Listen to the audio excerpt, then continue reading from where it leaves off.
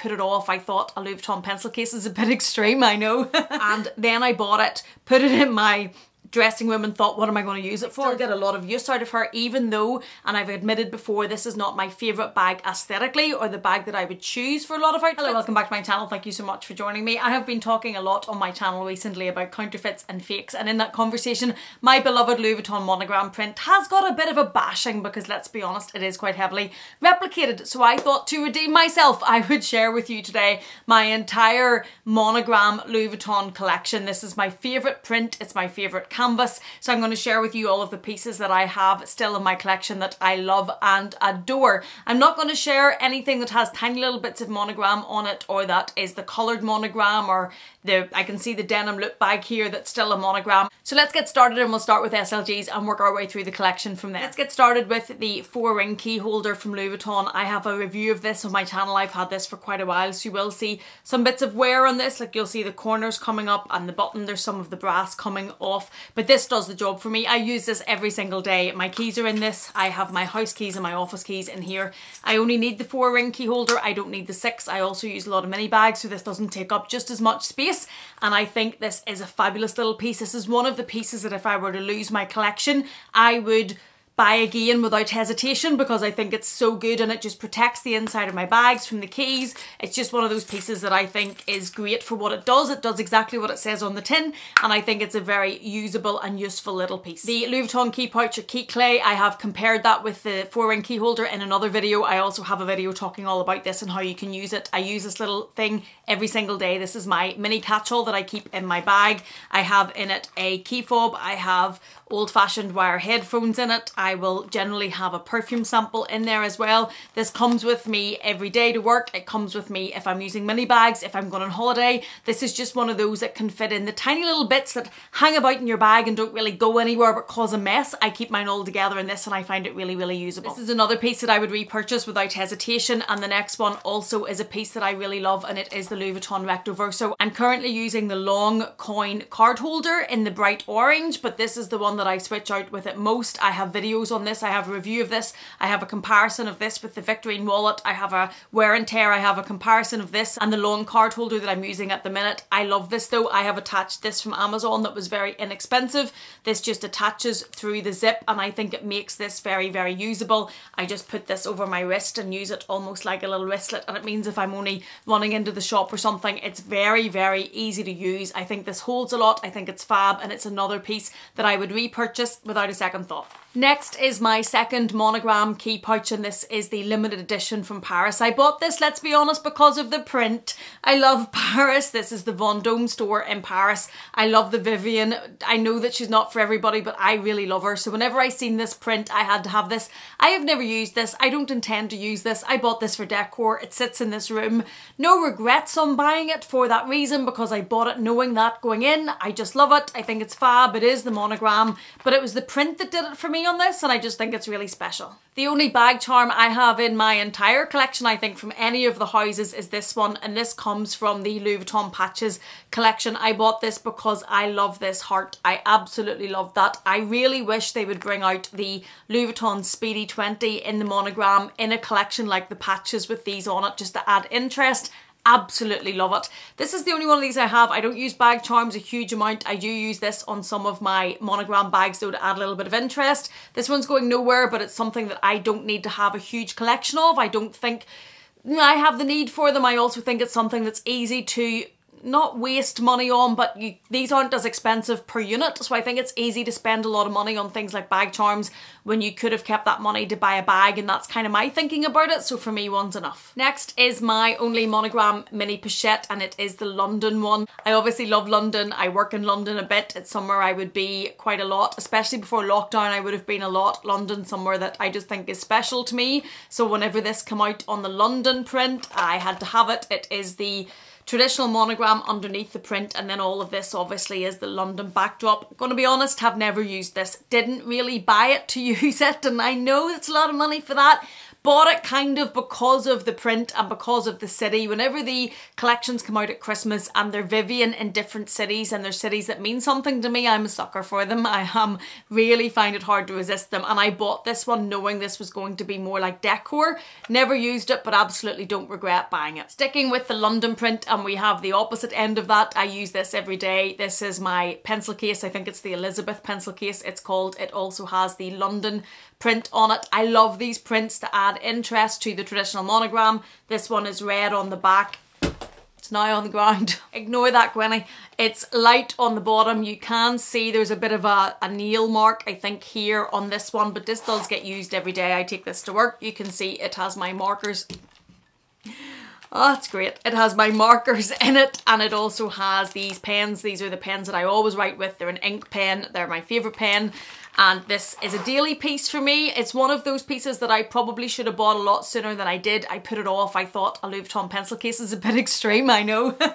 That's really, really funny because it's not as if I'm sensible when it comes to this all the time. But I did think that a Louis Vuitton pencil case was a bit unnecessary and a bit extreme and I didn't buy it for a long time and I should have just bought it because since I've bought it, I use this all the time, every day. Moving on to pouches, this is the pouch that comes with the Louis Vuitton Neverfull. I use this for business receipts. I carry all of my business receipts when I'm out and about in it. It also has a little computer thing in there. So that's very much useful for me for work because I have to keep my business expenses and receipts separate so they all go in there and then get passed to my accountant. So I actually do use the pouch with the Neverfull a lot. I know a lot of people think this isn't that useful and don't really use it with the Neverfull for me, but for me it has a really good use and it's used basically on a daily basis and I find it really really good. Next are the three monogram toiletries. These are the older toiletries which I think might be discontinued now and they now have the version that's a bit like the Eclipse where you have the card slots and things on the inside side. Mine are the traditional toiletries that are basically made for that. I know they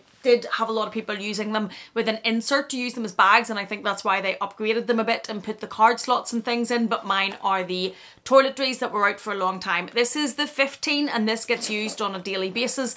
This is my catch-all in my work bag. I do have a video with what's in my work bag that was requested and you see in that that this is basically where I carry all of my everyday bits and pieces. I have my hand cream here which is the L'Occitane Cherry Blossom. This is beautiful and very inexpensive. If I can find it I'll link it below. I really recommend that. I carry that in my bag and it's very inexpensive compared to some of the ones that you will see a lot. I have a calculator in here, I have tablets in here, I have plasters in here, I have hair ties in here here. I have a hair clip I can see in there. It's basically a catch-all and it helps keep my bag tidy. I basically have to admit to preferring this on a daily basis as a mini catch-all than the mini pochette and I know a lot of people would probably think the other way but I just find this really usable and it just sits in my bag, it lives there and I think it's fab. Next is the Toiletry Pouch 19. This is probably my least used although in there at the minute there is a travel size shower gel and there are contact lenses in there and there's some feminine products in there so I do use this every time we go on holiday but it's probably my least used out of the three but it's not going anywhere because I find these very usable when I'm going on holiday. I do like having the set but it's not just about that. This one although used less anytime I travel gets used and I use it really for the traditional use as a toiletry. I don't really use this as a bag that much. I just, I don't know if I've ever used this one as a bag but I do use it as a toiletry quite a lot and I really enjoy having these in my collection and the last one is the Toiletry 26, 26 is it? I use this a lot. This one comes every time I travel. You will see on this that there are stains on this. I really need to clean this up. There's marks on the monogram here and here and there's stains on it. This also came on holiday with us very recently. I take this every time I travel. I have used this one quite a few times on holiday as a clutch Basically, so as I'm not carrying that many different bags with me, I take this with me with all of my toiletries in it, and then I've taken this out and used it as a clutch in the evening, and I admit to having used it without having cleaned the stains on it. One of the good things I will say about this is when we were coming home from holiday this time, the children's shampoo opened. It was in here and it opened and it spilled all over this. This has the wipeable interior and I can tell you it hasn't done any damage to it. It didn't get on the vachetta, thankfully, up here, but on the inside, I just wiped it out and you can still see bits of my makeup and stuff in there. But as for the shampoo having escaped all over it, it's still in perfect condition. It hasn't damaged the canvas, hasn't damaged it really in any way. And I think this is a fabulous piece. When we were on holiday as well, when we were going out in the evenings or we were going down to the pool or the beach, this is what we used as kind of a catch-all for more important things. So if we were going out in the evening and didn't have a big bag, it would have had some wipes and some spare nappies in it. Or if we were going to the pool, it had in it our phones, our sunglasses, it had bits and pieces, earpods, things like that that you needed to keep together that were a bit more important than the children's goggles for say. So this is what came with us and I find this such a great piece. Now moving on to the Nice family and I have the Nice Nano which is this one. This I use for my lip products. There are probably at any given time about four or five of my lip products lying in my Neverfull because I will pick one and put it on and throw it in my bag and then the next day I'll forget to look for that one and I'll take another one and throw it in my bag and then the next day it repeats and it repeats like a pattern. So this quite often is a lot emptier than it should be. Normally if I have my lip products in this, this basically is full but the ones as I say I use on a daily basis will be in my Neverfull but that's the way it sits. I have this little organiser in it. I think that makes it a lot more useful and this I kind of bought as decor if I'm honest. I think it's very, very cute. I love how small it is. I love the look of it. And then I bought it, put it in my dressing room and thought, what am I going to use it for? So it wasn't something that I needed. I definitely don't regret it, but it's not as usable as the next one I'm going to show you unless you're wanting to keep small things in it like this. Since I've put my lip products in it, it keeps them in order. I know where they are. I find it very usable and really, to be honest, I love the aesthetic of it. I love it sitting on my desk. It makes me happy. I think it's pretty. It's just one of those pieces that I enjoy looking at. The next one, by contrast, is very usable for me and this has been through the mill. I still haven't cleaned it since the last time I showed this on my channel. It's stinking inside. You can see the makeup on the top of it. If I took out all of that makeup and showed you the state of the liner or the organiser that's in it, it's covered in makeup. Thank goodness it's not in the actual Nice. That is the beauty if you're using one of these Nice products for makeup or toiletries or organisation like that. I really would recommend an organiser for it. Not only does it help them keep them in place and keep them where they're going to be, but it really protects the inside. If you've seen, I have a video on this if you want more information on this Go and look at that and you'll see how dirty mine is and at least it protects the actual Nice from that. This I think is fabulous. I love this. This is one of the Louis Vuitton pieces that I was most excited to get because I'm a stationery geek, I'm an organisation geek, I like to play with things. So when this arrived and I got my organiser for it, I loved sorting out my makeup and putting it in and setting it where it should go and setting it on my desk. This makes me very, very happy. I would buy this in a heartbeat again if I didn't have it. It sits on my desk in my dressing room. I get ready with this every morning and I love love the look of it as being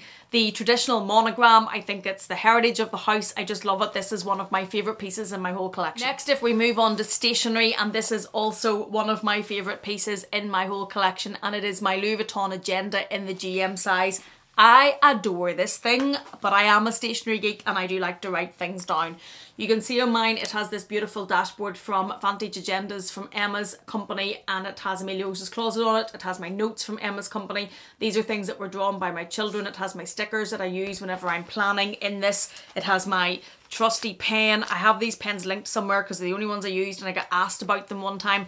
I absolutely love this agenda. I think it's fabulous. That being said, if you're not a stationary person, if you're not somebody that writes things down, if you buy one of these just because it's Louis Vuitton, I don't think you're suddenly going to start to. If you're a computer person, you're a computer person. For me, I'm a stationary person. I love to take this. I take this everywhere. I even take this when we go away for weekends. My husband's like, what are you bringing that for? Because it just comes with me, basically. I love it. I think it's fabulous. It's one of those pieces that I wish I'd bought sooner. Another one of my favourites. Sticking with stationery, I also have this Louis Vuitton monogram notebook. And why did I buy this? I bought this because it's the Paris print. Again, this is the Vendome store. There is Vivienne. I love her. It has the gold edged paper. This sits on my desk. I have a collection of notebooks in my office. It came with these stickers, which I really, really like. They're all the Vivienne. I love her. I just love it. It's bright pink on the inside. I haven't used it yet, but there's many, many notebooks in my office that I haven't used yet. I kind of bought it not really with the intention of using it or writing in it. I bought it with the intention of it sitting on my desk and looking really, really pretty because it's monogram, it's gold and it's Paris Vendôme. What else does one need to say? All right, let's move on to bags and let's start with the bag that started my Louis Vuitton addiction, my handbag addiction, my Louis Vuitton monogram addiction that started it all. This bag, you have a lot to answer for. This was my first Louis Vuitton Neverfull in the GM. This was my first luxury designer bag as of my collection as it is today. This was my first Louis Vuitton piece. This was my first entry into this world. I got this for my 30th. I was so excited. I saved up and I saved up for this. My husband offered to buy it for me for my 30th and I said no. This was an achievement for me, achieving this bag, saving this bag. I'd opened my business by this point. This really meant something. This bag is never going anywhere despite the fact she has been semi-retired because she's slightly worn. Even the canvas on this bag is worn, but she used every single day for over 10 years to work every day, to travel every day. She's been on the beach, you name it, this baby has been on it. She has earned her money and earned her semi-retirement. You can see my bits, these bits are even broke off. I did get them replaced at one point and then I broke them again. All of this, I can, I know that I can get the leather on this replaced. I don't think they can fix the canvas, but I love her. It is the old fashioned one with the script writing, as you can see, the curved script writing on the background. I didn't have a handbag organizer when I first had this because I didn't know those things existed. And you can see inside of mine how messy she is and how dirty she is. But she started it all and I love her. And I bought her in Rome and I've said this before at the time she was 550 euro. Let's not dwell on that. Let's put that away and not think about the price increases. Sticking with the Neverfull, this is the replacement. It's the exact same thing, only it has the pink interior this is the one that I replaced her with, with the pink. It does have a liner to keep a little bit better organisation in there and keep her a bit cleaner. Again, it's the GM in the monogram. I didn't switch, I didn't change. I love this bag. I think for a big black hole tote, you cannot beat this bag. She's fabulous. Love her, love her, love her. And as soon as that one needed to be semi-retired, there was no doubt in my mind that I was buying another identical bag. I used to have more of the monogram bags from Louis Vuitton. I have sold the Nano Speedy, I've sold the Palm Springs Mini. I still have the multi-pochette access accessoire. I find this, talked about it in videos, not going to go into detail. I find it really usable. It's very good as a mum bag. It's very flat to your body. It's very light. It fits a lot. I find it very easy to use. I find this strap comfortable if I'm running around a park. This one, even though I think it's past its height, I think it's past its peak of popularity.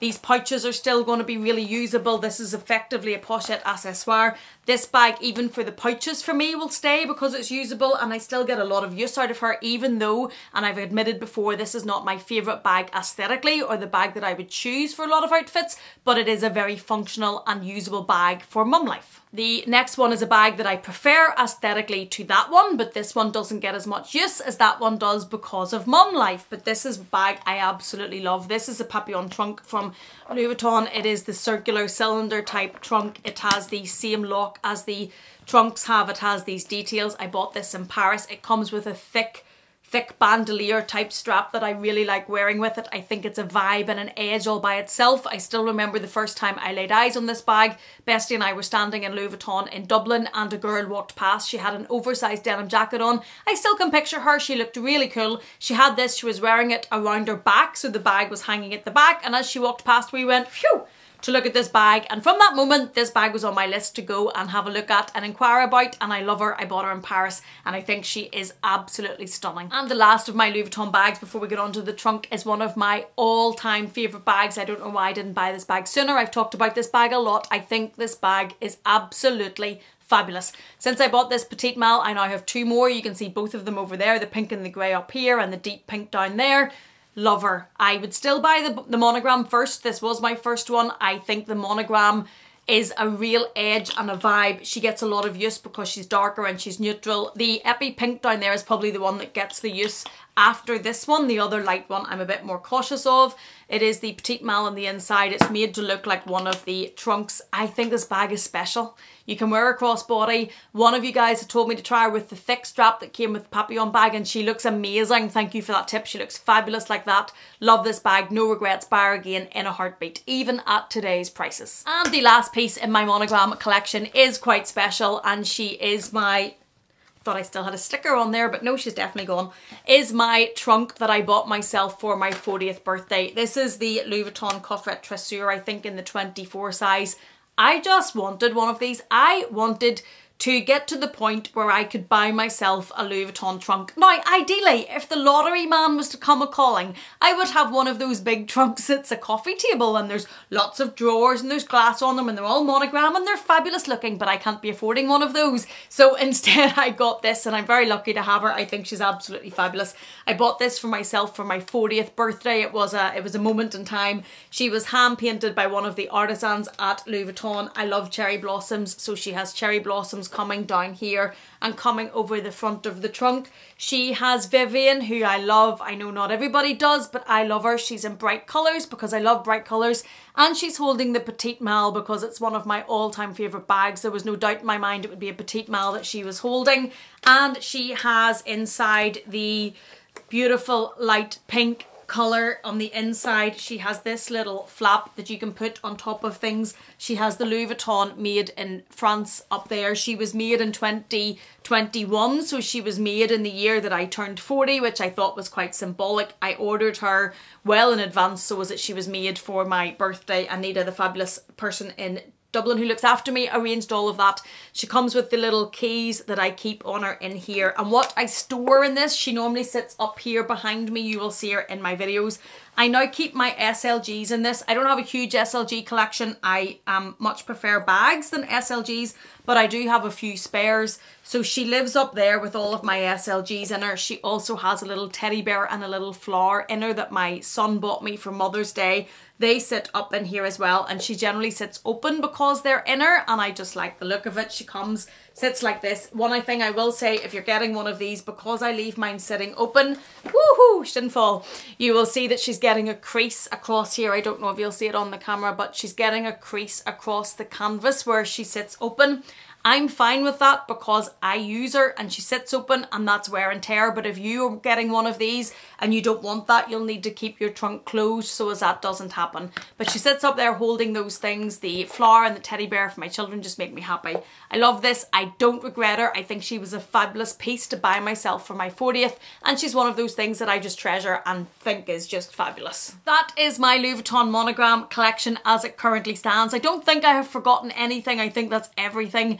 There are pieces that have gone. There has been the bags that I talked about that have gone. Not too much though. For me, Monogram is classic. It's forever. It's something I want to keep and have and I love having this collection. I love having all of the traditional Louis Vuitton Monogram. I'm very attached to the heritage of the brand. I think it's it's just, I just love it. So I wanted to showcase all of this collection to you after having talking about the counterfeits and how the monogram falls prey to that. I wanted to share this with you. I hope you've enjoyed seeing this collection. If there's any of these pieces that you would like more information on or you have a question, just come into the comment box and let me know what they are. If you have enjoyed this, please do give it a thumbs up. Please do consider subscribing. And if you're not done with me yet, I'm going to leave another video for you on the screen. Thank you so much for being here. Please take care and I will see you again in the next one.